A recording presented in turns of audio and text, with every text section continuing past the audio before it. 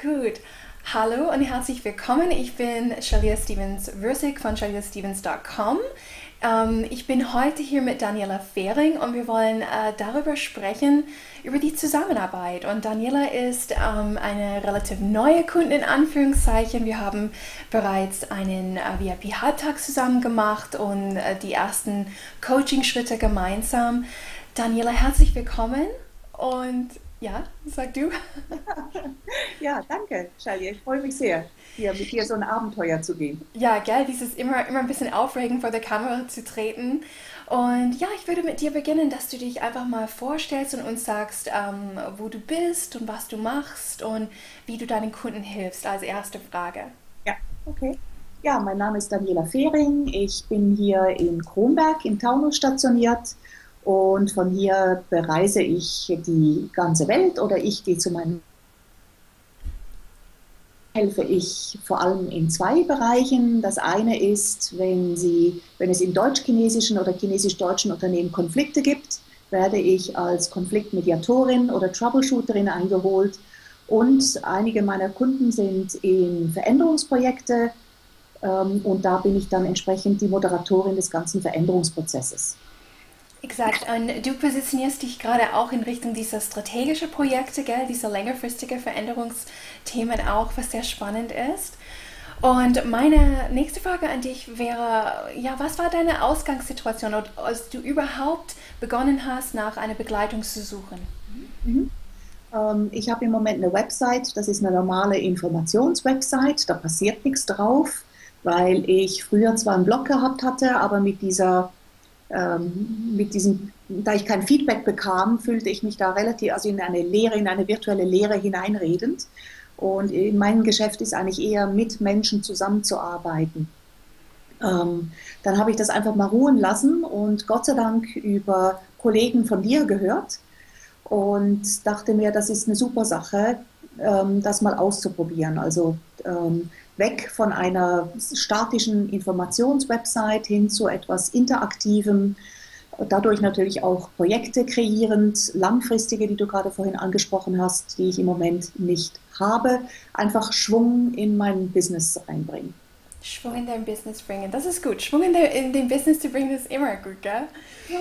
Ja, also was, was waren deine ähm, Erwartungen, als du, ja, bevor, bevor du überhaupt auf diese Abenteuer dich eingelassen hast, in den ersten VIP-Halbtag zum Beispiel? Ähm, eine Struktur, also, oder mit einer Struktur, die ich nicht kenne, zu arbeiten, ähm, auf Fragen zu stoßen, die ich mir sehr wahrscheinlich selbst nicht gestellt hätte dann natürlich auch Informationen zu bekommen, die ich mir sonst mühe, mühevoll im Internet hätte zusammensuchen müssen. Ja, also im Prinzip so die professionelle, das professionelle Know-how und jemanden, der mich begleitet und dadurch auch zwingt, in Anführungsstrichen Fragen zu beantworten. Ja, ja. Und dann bist du tatsächlich in den, äh, den VIP-Halbtag gekommen. Was, was hast du dann tatsächlich äh, erlebt äh, gegenüber die Erwartungen, die du vorher gehabt hast? Es hat voll meinen Erwartungen entsprochen. Ähm, ich äh, habe sehr davon profitiert, dass du ähm, einerseits den Kundenfokus hast und andererseits eben auch so sehr wahrscheinlich so dein, dein, dein Leitsystem oder so ein Leitfaden. Also es, ja. für mich hat es sich nach einer Struktur angefühlt, von der ich mich aber nicht eingeengt gefühlt habe, sondern ähm, die mir geholfen hat, verschiedene Dinge klarer zu sehen, überhaupt zu formulieren. Ja, ja. Ähm, und äh, also ich, ich glaube, dass man zu mehr, zu zweit immer weiterkommt als eigentlich alleine. Und das ist so meine normale Berufssituation, wenn ich nicht draußen beim Kunden bin, halt für mich alleine das Rad neu zu erfinden. Und ich habe profitiert davon, dass du einfach ein ganz was ähm, das Internet anbelangt, weil ich mich da eher als Oldie bezeichnen würde, sondern eben auch was das Thema Marketing äh, anbelangt. Äh, da richtig gute Anhaltspunkte zu geben, an denen ich mich jetzt weiter orientieren kann. Ja, bei, bei dem Punkt zu bleiben, also wenn, wenn wir über Ergebnisse sprechen, was waren die Ergebnisse für dich für den Tag, was Marketing, was Online-Kenntnisse, auch was deine Zielgruppe anbelangt, das war auch ein Schwerpunkt äh, an dem Tag. Vielleicht kannst du davon ein bisschen berichten. Ich fand den Kundenavatar voll spannend. Ich bin ihm auch schon mal vorher begegnet, habe ihn aber eigentlich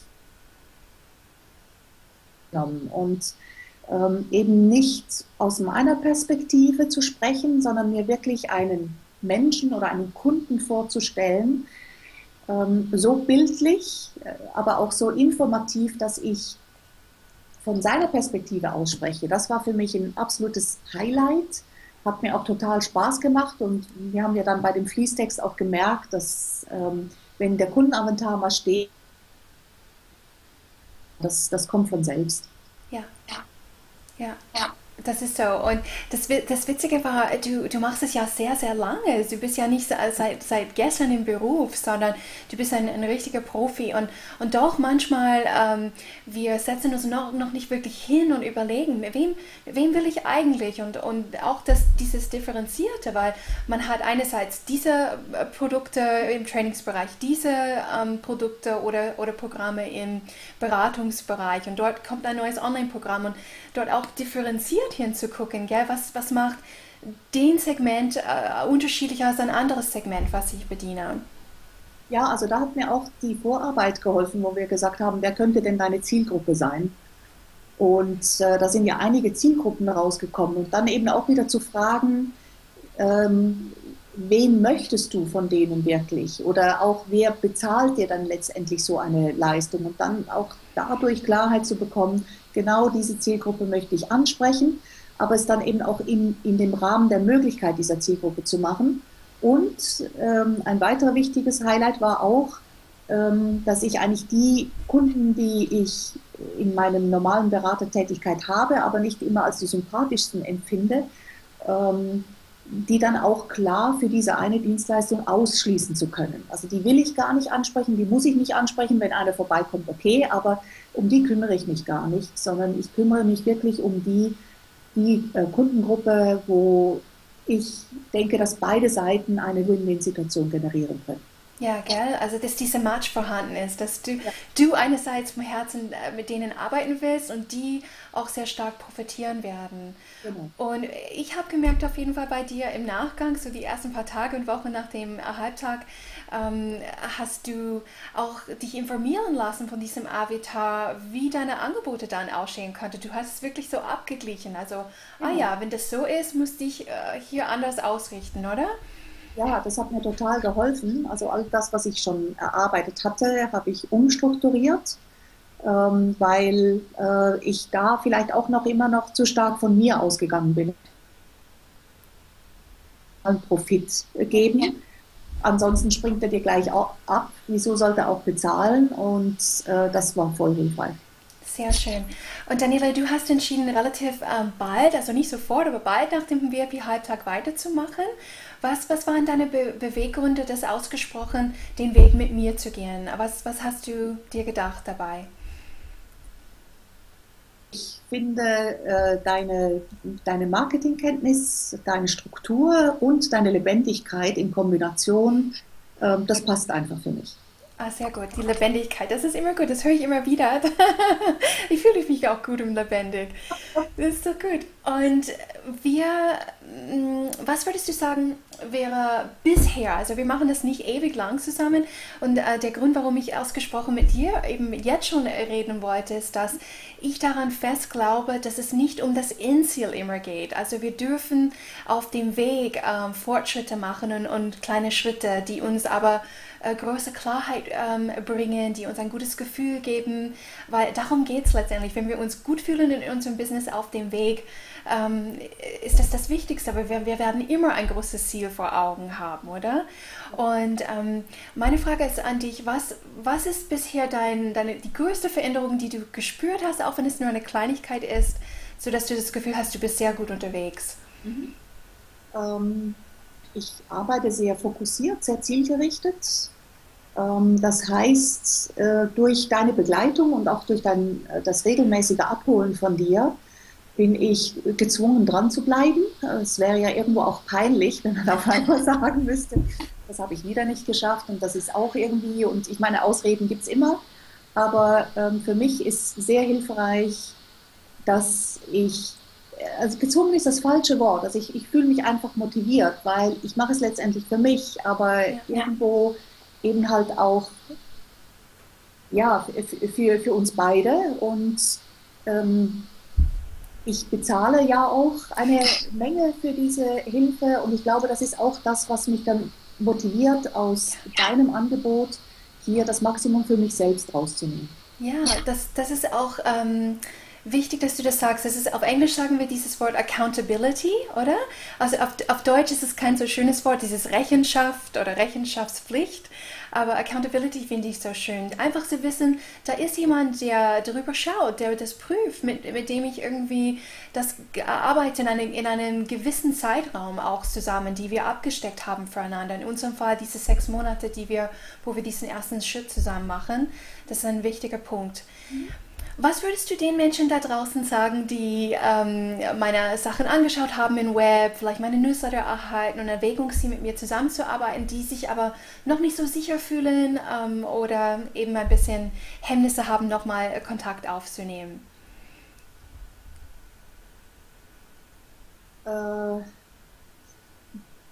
also ich bin jemand, der sehr spontan entscheidet und soll ich oder soll ich nicht. Ähm, aber so wie ich von dir gelernt habe, sind das die wenigsten. und ähm, wenn ich jetzt an jemanden denke, der, der zögert. Also ich finde es einfach äh, klasse, ähm, von dir sehr klar durch einen Prozess geführt zu werden, mit Fragen konfrontiert zu werden, die die auch durch deinen Input, also ich meine, die Fragen alleine könnte man irgendwie beantworten, aber du bringst ja auch noch den Input während der Fragen. Du bearbeitest das, was ich reingebe, noch weiter oder gehst tiefer mit weiteren Fragen. Und das ist das, was man, glaube ich, nur mit einem Coach zusammen erreichen kann. Also dass auch die Aussagen, die ich mache, von dir durchaus nochmal kritisch reflektiert werden, hinterfragt werden. Und was mir bei dir auch sehr gefällt, ist, dass du äh, es immer wieder auf den Punkt bringst dass du die Sachen immer wieder zusammenfasst, also dass du nicht, du bist nicht jemand, der sagt, ach, ich glaube ungefähr habe ich sie begriffen, wo sie hin will, sondern du, du machst immer wieder eine Zusammenfassung, das ist jetzt bei mir angekommen, das scheint der nächste Schritt oder das Thema zu sein. Und das gibt mir auch ähm, das Gefühl, ernst genommen zu werden und immer noch in den Prozess eingreifen zu können, weil ich dir ja widersprechen könnte. Ja, das kann man, gell? Man kann immer widersprechen. ja, und du, und du hast das erste Mal, Daniela, ähm, bei diesem unverbindlichen Kennenlerngespräch nicht nur alleine bist du gekommen, sondern du bist mit zwei anderen gekommen. Würdest du vielleicht denen auch erzählen, äh, wie das ist bei einem Kennenlerngespräch? Weil manche haben ein bisschen Furcht, diesen Prozess durchzumachen, weil sie das äh, für das unbekannt ist für sie. Okay. Äh, Im Gegenteil, also ich finde dieses 30-minütige Angebot äh, genial weil wir konnten dich kennenlernen und äh, du konntest uns kennenlernen. Und ich glaube, so ein Coaching muss ja von beiden Seiten stimmig sein.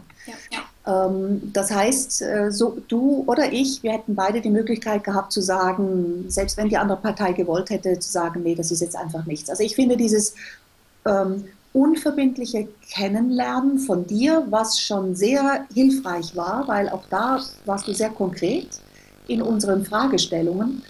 Ähm, also du hast uns weitergebracht ähm, und trotzdem eben auch aufgezeigt dadurch, wie viele Themen eigentlich noch dahinter sind, die wir bearbeiten müssen, wo dann bei mir eben ganz klar hochkam, äh, ich möchte diesen Weg nicht alleine weitergehen, sondern ich möchte den mit dir zusammen gehen und von dir profitieren. Ja, sehr schön. Sehr schön. Dankeschön, Daniela, dass du berichtet hast. Das wird vielen sicher weiterhelfen. Ja, würde ich mich sehr darüber freuen. Dankeschön. Tchau!